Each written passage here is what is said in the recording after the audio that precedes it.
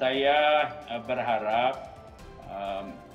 baik pejabat pejabat tingkat nasional tingkat daerah legislatif maupun eksekutif sama sama memperjuangkan bahwa vaksinasi adalah salah satu cara yang paling efektif yang paling efisien yang paling cepat bisa memulihkan keadaan kesehatan diri kita untuk menikmati hidup anugerah Tuhan Yang Maha Esa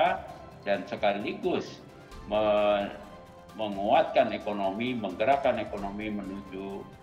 rakyat yang lebih sejahtera di masa depan.